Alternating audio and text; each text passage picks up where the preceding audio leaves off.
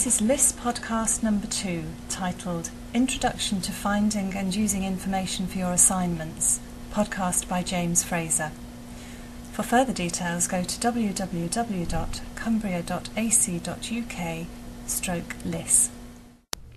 Hello, my name is James Fraser, and I'm a learning advisor at the University of Cumbria. In terms of information gathering, there are a few things to think about when you're first given your assignment. It's a good idea to start gathering your information as soon as possible. It always takes longer than you think, and it's good to try and avoid those feelings of panic because you've left things too late.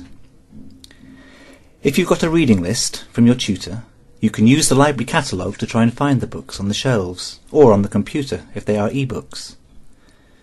But one way to help yourself get higher marks is to try and go beyond your reading list and show your lecturers that you have shown some initiative. It's good to show evidence in your bibliographies that you have used a wide range of information sources. For example, books, journal articles, good quality websites, and maybe some newspaper articles. I just mentioned websites. There is a lot of information available from the web, and perhaps a person's first instinct is to go straight to Google and type in the title of the assignment. However, this usually results in hundreds of thousands, if not millions, of hits, most of it which will be of dubious quality. I know that later in this podcast series, we will look at the issue of evaluating information to help you make sure that the information you choose is of appropriate quality for university work.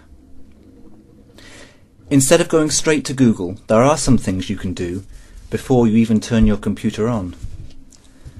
Some questions that you could ask yourself in the first stages are, firstly, how much information do I need? This will often be determined by the length of your assignment. If your essay is a thousand words long, you won't need as many references as if it was 5,000 words. However, there's no hard or fast rule about how many items should be in your bibliography, and if you're in any, any doubt, you should talk to your lecturers. But it's better to have a few good references from books and journal articles and sources that are trustworthy than loads of references from poor sources like Wikipedia or commercial websites. The second question to ask yourself is what kind of information do I need? Do you need facts and figures, or do you need thoughts and opinions on a topic?